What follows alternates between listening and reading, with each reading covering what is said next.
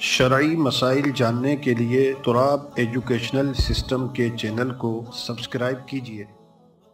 इसमें एक छोड़ने का तो ये है तरीका कि ईशा की नमाज़ पढ़े और वितर छोड़ दे। मगर उस वितर छोड़ने में मसला ये है कि उस वितर को तहजुद के साथ पढ़े, ठीक है? अब इसमें दो दो कौल। एक तो ये कि उसने वितर नहीं पढ़े। एक फ़िक्र रहेगी कि मुझे तहजुद में उठना है और इस फ़िक्र में वो उठेगा तो तहजुद में वितर पढ़े। और एक कौल ये है कि खुदा ना खासा हमारे जैसे दुनियादार आदमी की आँख लग गई तहजुद तो गई, वितर भी चलेगा तो अब एक कौल ये हसब हाल है, एक आदमी को वाकई इतना अपने ऊपर एतमाद है कि बड़ी पाबंदी से वो उठता है तो वो अगर वितर छोड़कर तहजुद की नमाज़ से मिला ले वितर तो उसके लिए जाए। मगर ये खतरा हमा वक्त है कि खुदा ना खासा तहजुद तो, तो नफल है। उसमें अगर आँख लग गई तो तहजुद तो नफल है।